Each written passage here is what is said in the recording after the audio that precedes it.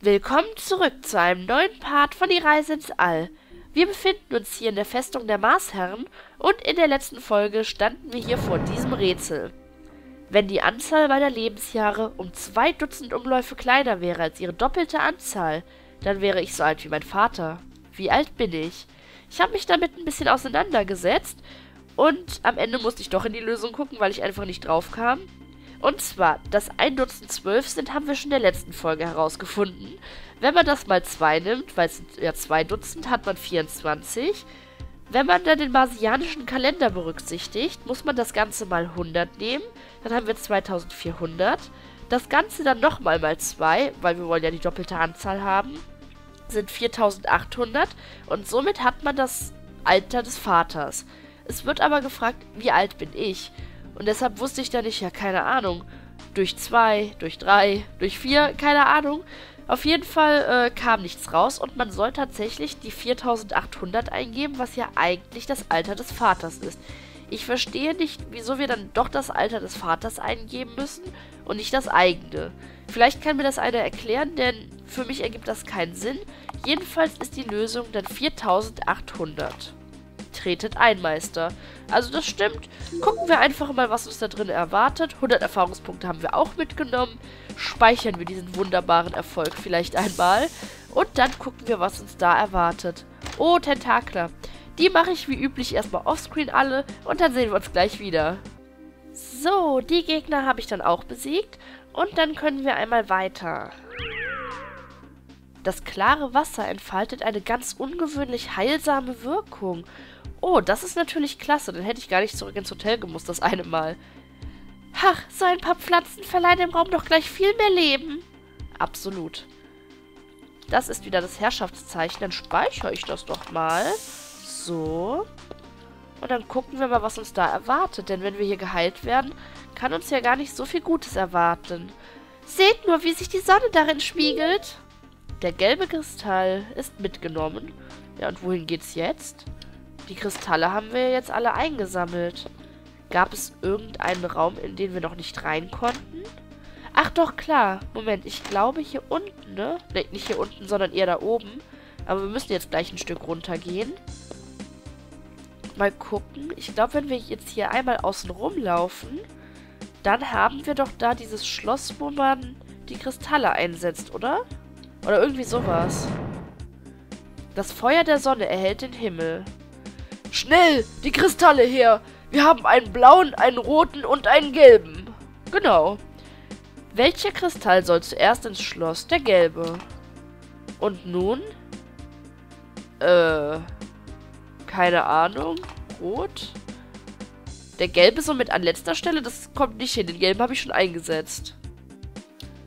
Naja, versuchen wir es nochmal.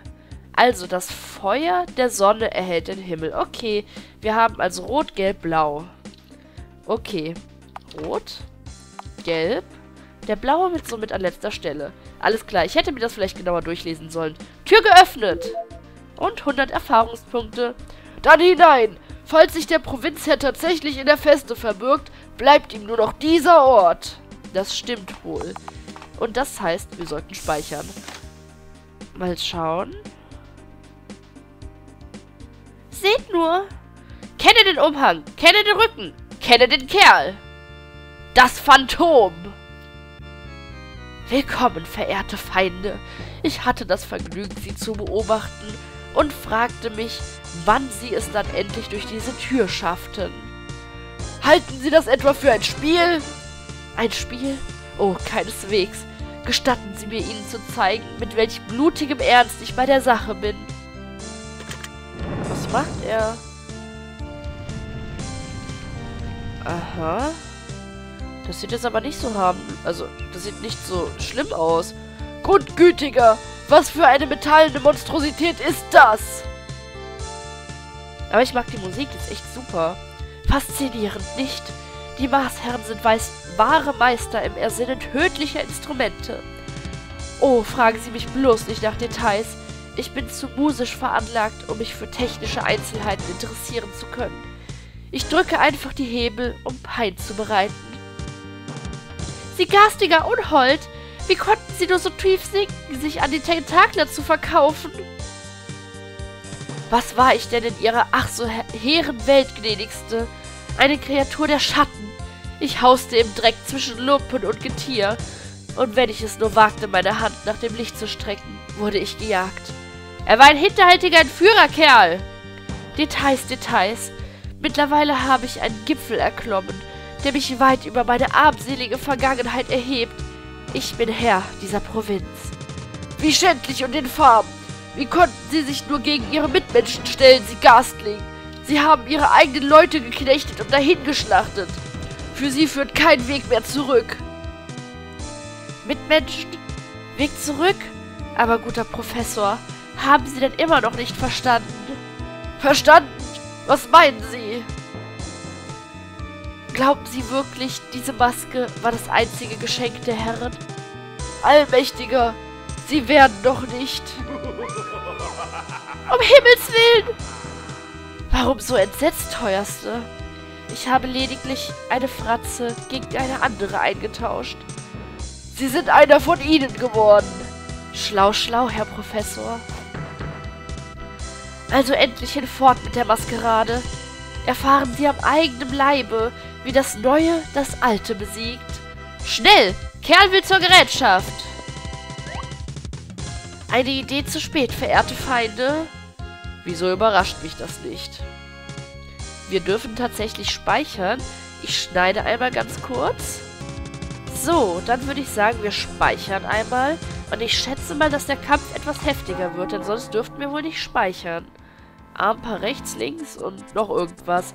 Ich gebe Ihnen eine private Sondervorstellung. Meine berühmte Arie des Schmerzes.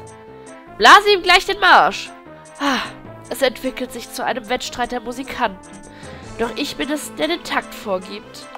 Okay, wir schätzen natürlich erst einmal ein. Was könnte er machen? Er könnte einmal stampfen, dadurch, dass wir zwei verschiedene Arme und ihn noch haben. Äh, sie erhöht den Angriff von, von Beckwitz, denn der hat häufig gute Attacken. Ja, und dadurch, dass er ja jetzt so ein bisschen Maßherr geworden ist, könnten wir es einmal mit dem Flammeninferno versuchen. Das Lied des Schmerzes. Und die Arme dürfen auch noch selbst etwas anderes anwenden. Das finde ich gar nicht cool. Also, der Kennerblick. 2500. Und die Armpaare haben jeweils nochmal 1000. Stärken. Feuer und Donner habe ich ja gut gemacht. Schläge. Schockresistenz. Klar, bei dem Gesicht. Schwäche. Wasser. Überraschungen. Dafür sorgt es lieber selbst. Okay, also werden wir vom Bonk vorbereiten. Und wir haben ganz viele konfuse Leute. Er bereitet vor. Sie verwendet dann das Kurbad. Äh, ich würde sagen auf ihn. Und dann gucken wir mal weiter. Ach nein, jetzt ist sie auch noch konfus. Jetzt weiß ich, warum wir direkt vorher speichern durften. Ich glaube, das wird diese Runde nichts. Naja, macht ja nichts. Man darf auch mal scheitern. Äh, ich würde sagen, er greift normal an, weil ich habe keine Lust, jetzt die Leute alle, äh, wieder aufzuheben und, äh, keine Lust. Finde ich jetzt blöd. So. Und dem geht schon wieder gar nicht so gut. Und jetzt ist von Backwitz auch konfus. Ich glaube, diese Runde wird wirklich nicht. Dann warten wir einmal, bis wir jetzt alle sterben. Oh, Eleanor ist wieder normal. Oh, warum drücke ich denn auf Autokampf? Ich wollte auf Fähigkeiten drücken. Naja, vielleicht heilt sie uns ja. Oh, trösten Sie, trösten Sie sich, Lieutenant. Ich weiß es umso besser. Ich weiß nur leider nicht, was er gesagt hat, weil ich weggeklickt habe. Tja, jetzt sterben sie nach und nach. Aber da müssen wir jetzt einmal durch. Und das war's. Wir haben verloren. Vielleicht schaffen wir es in der nächsten Runde. Und wenn ich es dann nicht auf Anhieb schaffe, machen wir es so, dass äh, ich dann gegen Ende des Kampfes zuschneide. Oder wenn die irgendwas Witziges sagen. Okay. Wir müssen trotzdem einmal einschätzen, denn wir wollen unsere Monster-Female ja vollständig haben. Das heißt, was könnte er denn machen? Er könnte mal brüllen vielleicht. Und zwar auf ihn selbst. Keine Ahnung. Ähm, sie wird den Angriff von von Beckwitz erhöhen. Und er benutzt natürlich dann den Froststurm. Mal gucken. Ein elektrisches Feld, das ist neu. Ich glaube, nachdem Eleanor dann jetzt einmal den Angriff erhöht hat, wird sie wie üblich erstmal heilen. Mal sehen. Ja, ein bisschen HP hat er schon verloren, aber leider nicht viel. Und dann grimassiert er. Ja, es ist echt nicht gut, ne? Naja gut, er bereitet auf jeden Fall die Bonbon vor. Nächstes Mal könnte ich vielleicht die Bonbon vorbereiten und danach einschätzen. Ja, das ist eigentlich keine so schlechte Idee. So. Ähm, sie sollte jetzt einmal die große Gruppenheilung. Wobei, so schlimm sind die doch gar nicht dran. Dann macht sie doch lieber was anderes und macht Denkfix auf Heisen. Und er bleibt beim Froststurm. Okay, alle ausgewichen. Das finde ich sehr gut. Wow. Ich glaube, ab nächster Runde sollte sie wirklich heilen. Okay. Das ist echt nicht gut. Dem geht's wirklich gar nicht gut. Also, äh, vorbereitet ist es ja. Das heißt, er kann einmal normal angreifen. Und er brüllt natürlich weiter. Sie benutzt dann die große Gruppenheilung. Und er bleibt wohl oder übel hierbei. So, wir können jetzt ab sofort Bonbon einsetzen. Und von Macwitz ist platt. War toll. Hat sich gelohnt. Wow. Ellen, du hast verstummt. Huh. Das gefällt mir ja gar nicht. So, das bedeutet, er hier, wobei er könnte einfach weiter normal angreifen. Ähm, sie könnte versuchen, sich selbst zu heilen, auch wenn ich nicht glaube, dass das noch was bringt. Äh, wo haben wir denn hier etwas gegen? Die Statusnachrichten? Statusnachrichten, was laber ich denn hier? Um Gottes Willen. Und er versucht es weiter hiermit, aber ich glaube, das wird diesmal auch nichts. Nein. Ich mache das jetzt so, dass ich euch, wenn ich das Gefühl habe, dass ich siegen könnte, dazuschalte. Also, bis gleich. Man weiß ja gar nicht, wo man vor lauter Gezappel hinzielen soll. Trösten Sie sich, Lieutenant. Ich weiß es umso besser. Zappalo, diese Zähigkeit ist einfach unmenschlich. Sie huschen umher, wie lästige Krabbler. Aber ich werde sie zertreten. Daneben! Daneben! Sie zu vernichten, wird mir eine besondere Genugtuung bereiten, Herr Lieutenant. Ich werde nicht dulden, dass Sie mich noch einmal geschlagen erleben. Sie nicht! Ich glaube, dass er schon fast platt ist. Die Arme habe ich beide kaputt bekommen. Ich erzähle einmal kurz was zur Taktik. Und zwar habe ich zuerst Warborg vorbereitet, dann eingeschätzt, wie ich schon vorhin gesagt hatte. Dann, ähm, erkläre ich den Rest jetzt gleich dabei. Er hat die ganze Zeit gestampft, einfach weil es mehrere Dinge angreift. Mittlerweile brülle ich ihn nur noch an. Sie hat sehr gut Support gemacht. Das heißt, äh, sie hat Leute wiederbelebt, auferstehen lassen. Ohnmacht beenden musste ich schon ein paar Mal anwenden weil tatsächlich ein paar Leute gestorben sind. Hauptsächlich tatsächlich von Macwitz. Und jetzt gerade diese Runde hat sie zum Beispiel nichts zu tun.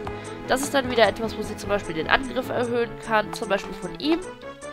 Und er hat auch solche Dinge gemacht wie Konfusion und Schlaf hauptsächlich, äh, das ist Schlaf, Konfusion und Schlaf, weil äh, tatsächlich konnten auch die Arme einschlafen. Mittlerweile, da nur noch das Phantom da ist, benutzt er Frostdorn. Okay, das hatte er schon mal gesagt. Ja, ich glaube, der hat nicht mehr so lange. Das war's tatsächlich. Da habe ich es ja ganz gut eingeschätzt. Und schaut mal, wie viele Erfahrungspunkte. Wow. Da kann ich verstehen, dass die Level-Ups erhalten. Oha. Was für ein schauerliches Ende. Kerl hatte nichts anderes verdient. Ich glaube, nun haben wir alles getötet, was irgendwie feindähnlich war. Was für eine erfreuliche Nachricht, liebes Wesen. Eigentlich wollte ich einmal laut über die Wahl unserer Mittel. Denke, die Mission ist erfüllt. Hoho, das wohl. Dieser Schlag hat die Tentakler gewiss getroffen. Dann schnell, eilen wir zu Nautilus zurück und fahren nach Hause, nach Vulkanien. Ich würde aber mal sagen, wir schauen uns hier doch nochmal um. So ein Hebel vermag die erstaunlichsten Dinge in Bewegung zu versetzen. Eine fabelhafte Erfindung. Oh ja. Eine Karte der gesamten Provinz. An dieser Provinz haben die Tentakler keine Freude mehr. Vorerst, gnädigste. Aber bedenken Sie, ein Schlachterfolg entscheidet in einem Konflikt diesen Ausmaßes noch lange nicht den gesamten Krieg. Das stimmt. Eine erstaunliche Maschine. Maschine mit L, gut. Erstaunlich kaputt. Das stimmt wohl. Was hast du denn mit diesem scheußlichen Ding vor, Schatz? Sehe das als ausgesprochen prächtige Trophäe an. Wir sind hier nicht auf der Jagd. Und du willst dir das doch hoffentlich nicht über den Kamin hängen. Glänzende Idee. Da kommt's hin. Du elender Dickkopf. du nimmst, unter den funkenden Blicken Eleanors, die Maske des Phantoms an dich. Sehr schön. Ich äh, schneide einmal ganz kurz und speichere auch. So, weiter geht's. Ich hätte eigentlich speichern sollen, bevor wir die Maske aufheben. Dann hätten wir vielleicht noch eine andere Reaktion von Eleanor gesehen. Aber so geht's natürlich auch. War hier oben noch was? Nee. Alles nur Deko. Okay, jetzt müssen wir den ganzen Weg echt zu Fuß gehen. Äh, wie lästig. War da unten noch irgendwas? Nee, da waren wir schon überall. Denn wenn wir jetzt wirklich mit der Nautilus abreisen, dann möchte ich natürlich auch alles gesehen haben. Aber ich glaube, mehr gibt es hier wirklich nicht zu holen. Vielleicht sollten wir vorher noch mal zu Kapitän Bull gehen. Huch. Warum macht die Tür denn so ein lautes Geräusch? Hier unten war ja wirklich nichts mehr, ne? Okay. Dann gucken wir doch einmal in Bakschisch. Ja, gebt Salut, das sowieso. Ach, dann sehen wir wieder das Feuerwerk. Ist klar. Wobei Captain Bull und der eine streiten sich bestimmt immer noch. Ich glaube, deshalb ergibt es auch gar keinen wirklichen Sinn, dahin zu gehen. Aber man kann ja nie wissen. Gucken wir einfach, ob sich was getan hat. Und? Ne, hier ist nichts Neues. Ja gut.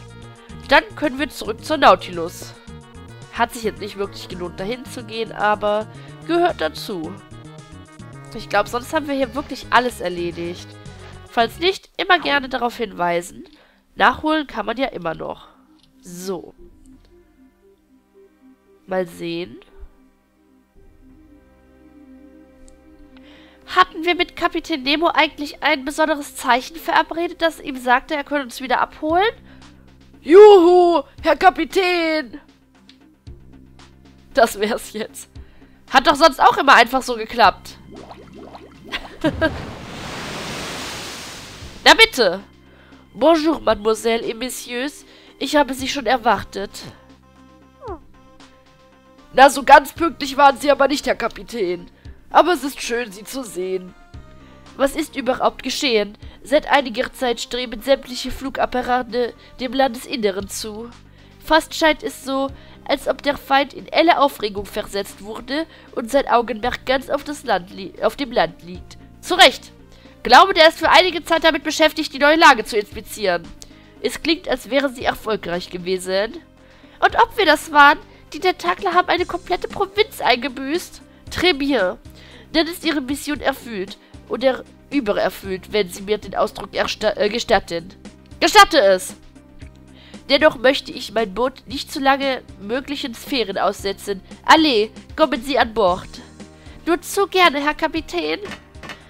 Mir fällt gerade auf, immer, wenn es darum geht, ihn zu synchronisieren, bin ich erkältet. Ich glaube, das ist ein Zeichen dafür, dass äh, er wiederkommt. Das werde ich mir merken. Also, gibt es auch etwas zu essen. Kurs Vulkanien. Volle Fahrt voraus. Okay. Genau, ich wollte mal gucken, ob ich die Knoten erhöhen kann. Nee, kann ich nicht. Warum? Er wird ja noch langsamer. Oder drehe ich in die falsche Richtung? Sieh doch, Schatz. Madagaskar. Hatten wir schon. Weiter. Mal gucken. Oder habe ich die falsche Richtung gedrückt? Huh. Nee, tut sich aber wirklich nichts. Darauf haben wir dann scheinbar wirklich keinen Einfluss. Ich dachte, ich könnte es wirklich etwas schneller hin und her bewegen. Ihr wisst schon. Dem Schaukeln nach zu urteilen, nähern wir uns wieder dem Kap. Entschuldigen Sie mich bitte. Okay, das Schaukeln gefällt ihm nicht ganz so gut. Wow, wie schnell wir sind. 23 Knoten. War der Südatlantik auch schon während der Hinfahrt so groß? Hinne machen! Äh. Patience, Monsieur. Genießen Sie die Ruhe und die Friedfertigkeit der tiefen See. Geben Sie es auf, Kapitän. Dieser Mensch ist ein hoffnungsloser Fall. Aber es dauert auch so lange. Ich bin doch auch so ungeduldig. Also in dem Fall kann ich den Lieutenant echt gut verstehen. Vulkanien! Na endlich! Los raus aus der Tauchdose! Geschwindigkeit drosseln. Langsam vereinfacht in den Kratersee. Solange ich nicht nochmal dieses eine Minispiel machen muss, ist alles cool. Wurde auch Zeit. Scharre schon wie wild mit den Hufen. Ich kann Ihre Quengelei nur tadeln, Herr Lieutenant. Wir sind mit voller Kraft dahin gerast. Gerast? Geschlichen! Monsieur, die Nautilus mag zwar Schneckenähnliches im Namen tragen, aber sie ist das schnellste Boot. Sehen Sie es dem Lieutenant einfach nach, Herr Kapitän.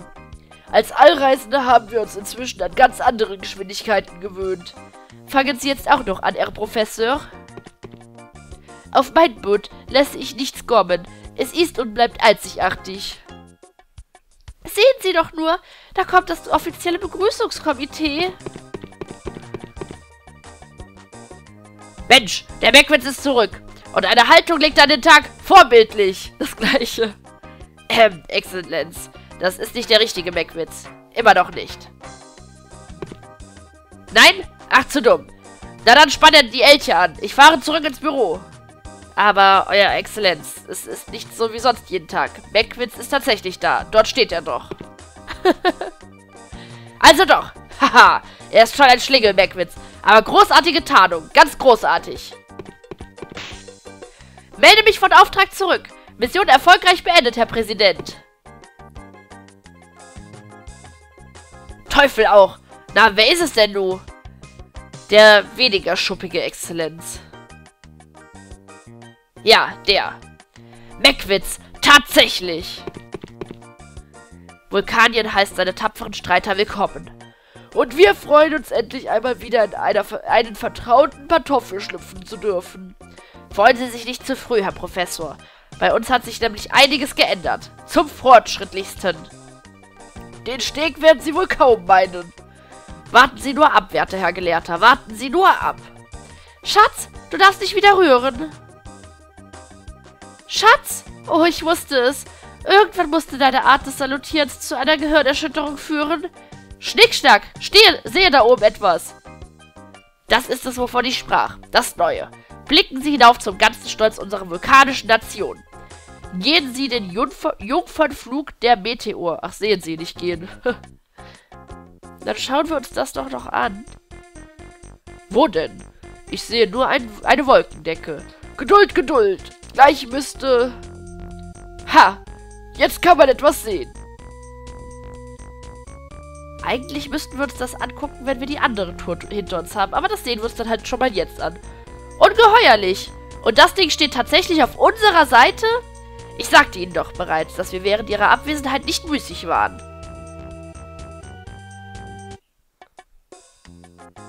Ein überwältigender Anblick. Hui, ein Schatten. Ja. Wie war der Bau nur möglich? Ich glaube aber, diese Fragen stellen wir vielleicht nach der nächsten Tour, oder?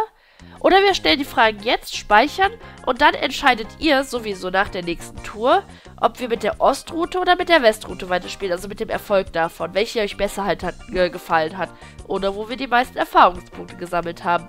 Also stellen wir die Fragen jetzt tatsächlich noch. Wie war der Bau nur möglich?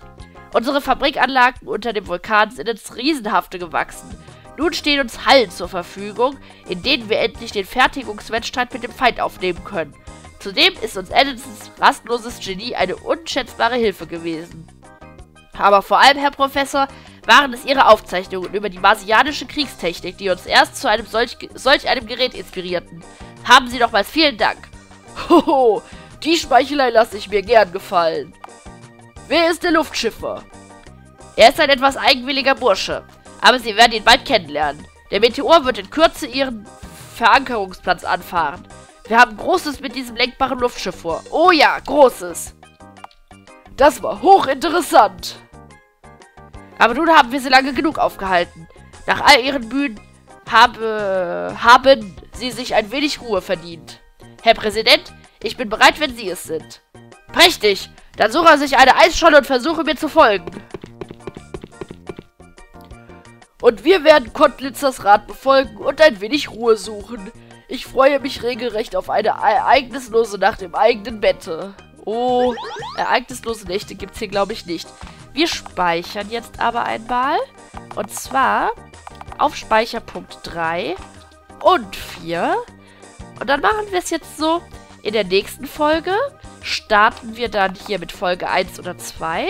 Je nachdem, auf jeden Fall wählen wir dann diesmal die Westroute. Und wenn wir die abgeschlossen haben, dürft ihr entscheiden, welche Route ihr cooler fandet. Und mit dem Speicherstand fahren wir dann fort. Also entweder 3, 4 oder halt das, womit wir mit der Westroute enden. Okay, dann würde ich sagen, wir beenden den Part an dieser Stelle und sehen uns im nächsten Part wieder, wenn wir in den Westen fahren. Bis dann!